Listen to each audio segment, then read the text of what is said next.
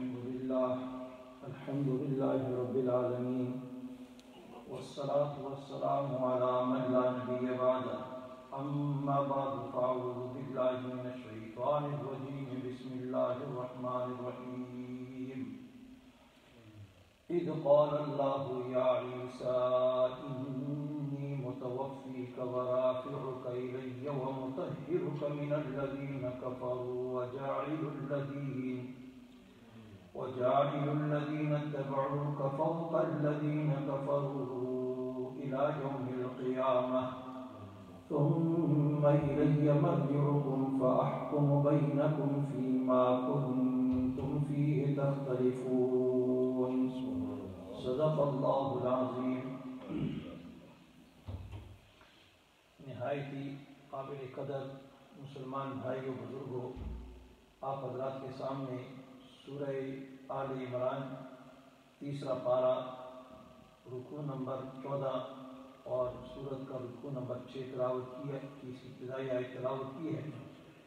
रब्बुल आलमीन से दुआ है कि अल्लाह इस रुकू का सही तर्जुमा समझाने की तोफ़ी अता फरमाए और अल्लाह ताला मुझे और आप सबको कुरान और सुन्नत के मुताबिक ज़िंदगी बसर करने की तोफ़ी अता फरमाए। इरशाद बारी ताला है, फरमाया कि इद क़ाल अल्लाहु या ईसा इद क़ाला, इस जिस तरह मैंने कल भी बताया, इसका माना क्या है जब, याद करो जब। क़ाल अल्लाहु, कहा अल्लाह ने, या ईसा, ए ईसा, इन्नी, बेशक में मुतवफ़ी का मुतवफ़ी का मैं ले लूँगा तुझको और राफ़िउ का और उठा लूँगा इलैया अपनी तरफ़। व मुतहिर का अब मुतवफ़ी का व राफ़िउ का फसीर फरमाते हैं ये पूरा पूरा उठा लेंगे रूह माल जिसम के। ईसलाम को ने आसमानों पे उठाने की एक बशारत पे खुशबरी दे दी जब आपको उठा दें। वो मुतहिर का और पाक कर दूँगा मिनल्लदीना कफर, काफरों से। वजाइलु और रखूँगा। अल्लदीन तबाऊ का उन लोगों को जो तेरी पैरवी करें। तबाऊ का पैरवी करें। न तबाऊ का पैरवी करेंगे फोक अल्लदीना फोका, फोक माने ऊपर। अल्लदीना उन लोगों के। कफरू जो इनकार करते हैं, काफर हुए। इलाहियों में क़यामा क्या मतलब तो ईसलाम का इनकार करने वाले कौन है? यहूदी थे। तो अल्लाह ताला ने यहाँ खुशबू सुनाई कि जाइलुल्लदीन तबाऊ का फोक अल्लदीना कफर। हम बनाएँगे उनको जो आपकी पैरवी करते फोक अल्लदीना उन लोगों के ऊपर जिन्होंने कुफर इनकार किया इलाहियों में क़यामा क्या मतलब? तो इसलिए यहूदी जो होंगे, जहाँ भी होंगे, ये हमेशा नीचे ही रहेंगे इनको अल्लाह ताला क्या है, ऊपर फोकियत ताजी फरमाएँगे। ये क्या मतलब अल्लाह ताला इनके ऊपर ईसाइयों को इस तरह क्या है तो ईसलाम के मानने वाले होंगे, उनको क्या है, वहाँ पर ऊपर उठाते रहेंगे सुम्मा इलैया मरजिउकुम, फिर इलैया मेरी तरफ़। मरजिउकुम तुम्हारा लौटना मरजिउकुम तुम्हारा लौटना फ़अहकुम बैनकुम। फिर मैं फैसला करूँगा, बैनकुम तुम्हारे दरमियान मैं क्या करूँगा? फैसला करूँगा, तुम्हारे दरमियान फीमा कुम तुम फ़ी तख्तलिफून। किस चीज़ के बारे में फैसला करूँगा? उस बारे में जिसमें तुम्हारा इख्तिलाफ तुम क्या है? इख्तिलाफ करते हो। फ़अमल्लदीना कफर।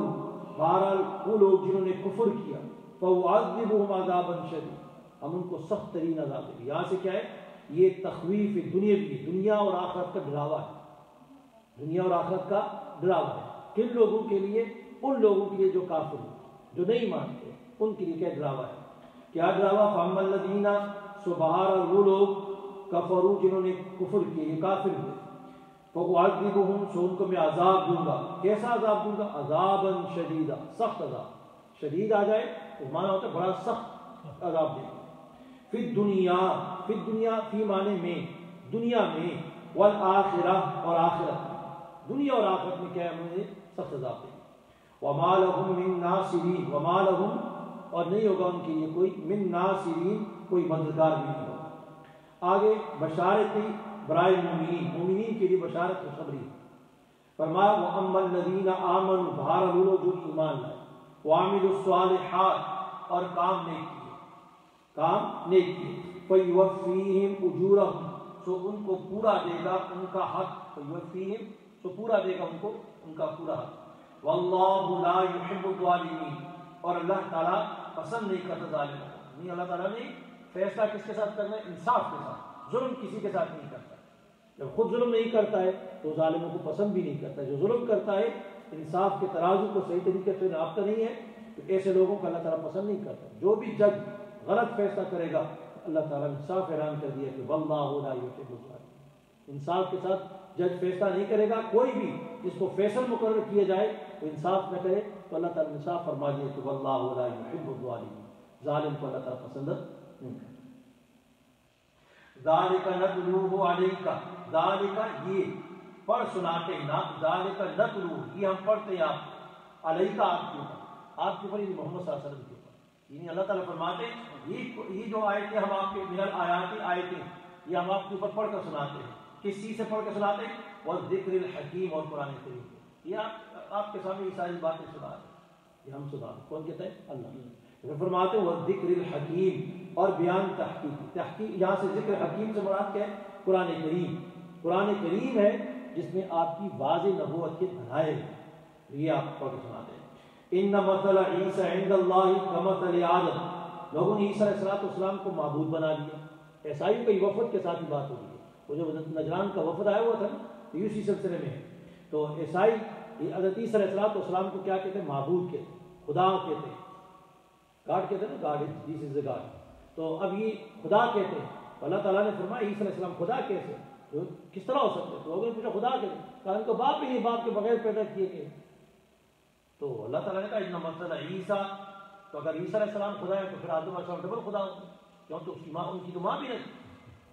तो बीवी हवा पर, और वो भी तो खुदा होगी। क्योंकि तो उनकी माँ ने भी बगैर माँ के पैदा किया। तो फिर सबको खुदा मान। तो इसी जगह पर फरमाया इन मसल ईसा कमसल आदम।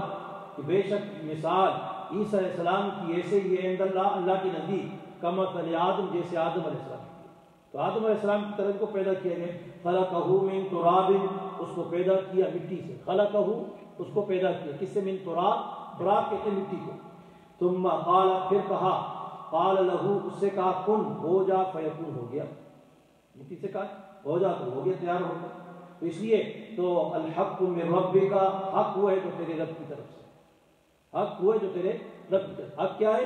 कि महबूद सिर्फ़ कौन है? अल्लाह न महबूद है न आदम महबूद है जिस तरह आदम महबूद नहीं है तो इस तरह ईसलाम भी महबूद अलहक में रब का हक सच्ची बात तेरे रब की तरफ़ से फला तकुम मिनल मुमतरी तो तू शक करने वालों में से न हो शक करने वालों में से न हो इस्लाम ऐसा भी नहीं है जिस तरह ये यहूदी ने घटा दिया उनकी माँ के ऊपर लगाई ईसर इस्लाम को कहाँ से लेकर आए ऐसा भी नहीं है ठीक है? और उनका इनकार करते ऐसा भी और नहीं ईसाइयों की तरह जिन्होंने खुदा बना दिया।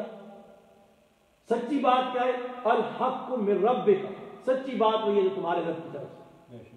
तुम्हारे रब की तरफ़ से। फला तकुम मिनल तो आप क्या शक करने वालों से फरमाया फमन हाजक फीहि मिन बाद मा जाअक मिनल इल्म।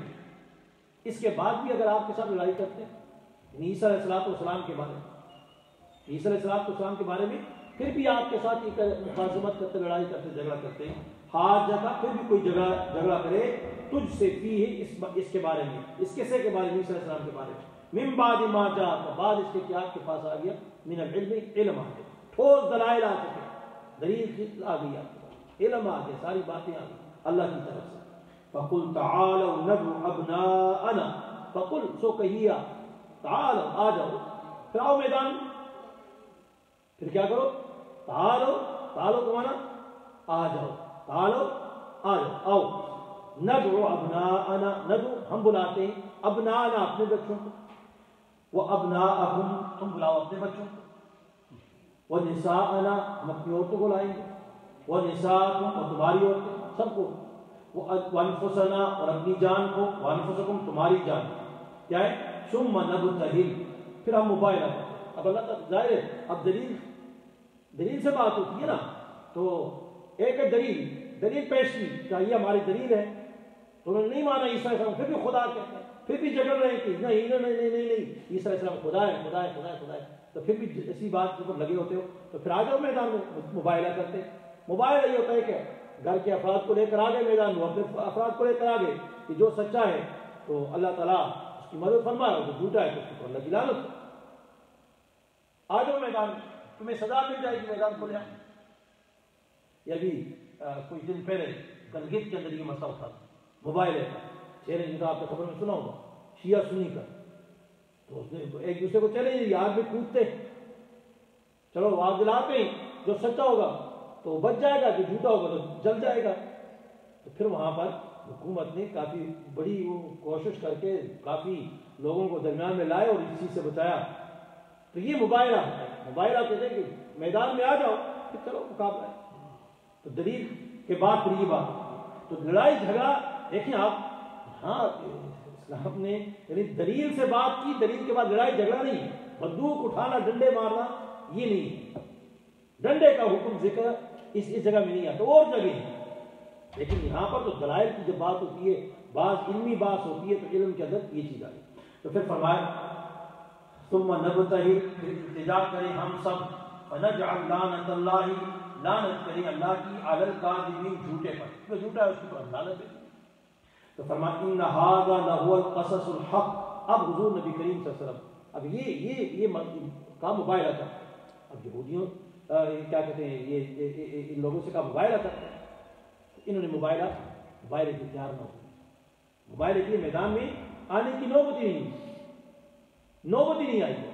तो जब नौबत नहीं आई है तो फिर हजूर ससर ने कोई, अगर इस तरह नौबत आ जाती तो हजूर ससर अपनी घरवालियों को ठीक है अपने घर के अफराद हैं उनको लेकर मैदान में आ जाते। लेकिन ऐसा ऐसी ज़रूरत पैदा नहीं।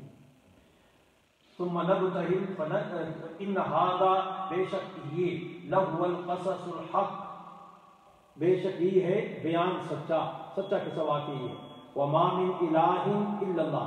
वमामिन और नहीं किसी नहीं है कोई भी माबूद इल्लल्लाह मगर अल्लाह। यानी अल्लाह के सिवा किसी की बंदगी जाएज नहीं। तो लिहाजा ए ईसाइयों जो तुम कह रहे हो ईसा खुदा के वो खुदा है उनको तुमने महबूब बना रहे हो खुदा का बेटा भी कह रहे हो। तो फिर ये बात सही नहीं है। सही बात क्या है? इन हक। अल्लाह कहता है जो हमने ये बयान किया कुरान करीम के अंदर यही सच्ची बात है। हक बात ये है। और फिर फरमाया गया उसकी वजाहत कर दी खुलासा जितने भी दलाइल थे उन सब का लुबे लबाब निचोड़ कंक्लूजन जो है वो सुना दिया कि वह मामिन इलाहिन अल्लाह के सिवा दूसरा कोई महबूद नहीं। दूसरा अल्लाह के साथ दूसरा खुदा है ही नहीं। ईसा सलाम खुदा है? ना भाई मरियम खुदा कोई भी खुदा नहीं सिर्फ़ खुदा कौन है? अल्लाह हकीम। और इन बेशक अल्लाह और अल्लाह जो है वही है अल अज़ीज़ ज़बरदस्त, अल हकीम हिकमत वाला। अल्लाह ताला बड़ा अज़ीज़ है और हिकमत वाला ईसा को बगैर बाप के पैदा करना, इसमें बड़ी हिकमत है और पैदा किया है, ज़बरदस्त है। अब क्यों पैदा किया? हकीम है, उसमें उन्होंने हिकमत रखी हुई है। तो इसमें अल्लाह ताला अपनी कुदरत का इजहार कर रहा है देखो, ये करने वाला तो कोई है ना, समझो कौन है? अब जो सजू में पड़ जाओ, उसको ढूंढो तो वो तुम्हें कौन मिलेगा? अल्लाह। अल्लाह मिलेगा। तो फरमाया कबूल न करे। अल्लाह तो अल्लाह ताला को मालूम है। बेशक अल्लाह ताला अलीम बिल मुफसिदीन। अल्लाह जानते हैं मुफसिदीन फसादी जो होगा, उसको अल्लाह ताला ज़रूर जानता है। जानता है अल्लाह ताला फसादी को क्या मतलब? कि जो फसाद करता है, जो नहीं मानता, ये फसादी है मुफसिदीन में से, फसादियों में से तो अल्लाह ताला फसादी को जानता है। तो जानने का क्या मतलब? कि जानता है तो जब जाए, जब मेरे पास आएगा तो या तो दुनिया में पकड़ लूँगा, ना हुआ दुनिया में तो आखिरत में तो मेरे पास ही आएगा। तो वहाँ तो छोड़ेंगे नहीं हम। छोड़ेंगे नहीं, वहाँ पर हम सजा दे देंगे। तो इसलिए ऐसाइयों को कहा कि मान लो, किसी में तुम्हारी भी भलाई नहीं मानोगे तो कहाँ जाओगे? फसादी बन जाओगे, और फसादी बनोगे तो फिर अल्लाह ताला के यहाँ जाओगे तो आपको सजा अल्लाह रब्बुल आलमीन अल्हम्दुलिल्लाह रब्बिल आलमीन अल्लाहुम्मा सल्ली अला सय्यिदिना मुहम्मदिन नबिय्यिन व आलिहि व सहबिहि व सल्लम तस्लीमा रब्बना आतिना फिद दुनिया हसना व फिल आखिरति हसना व क़िना अज़ाबन नार अल्लाहुम्मा इन्ना अला ज़िक्रिका व शुक्रिका व हुस्नि इबादतिक या अल्लाह तुम्हारा बैठना कबूल व मकबूल बना इसको पूरा पूरा जन नसीब फरमा खात्मा बिल खैर नसीब फरमा या अल्लाह सलमान में कुरान की समझ और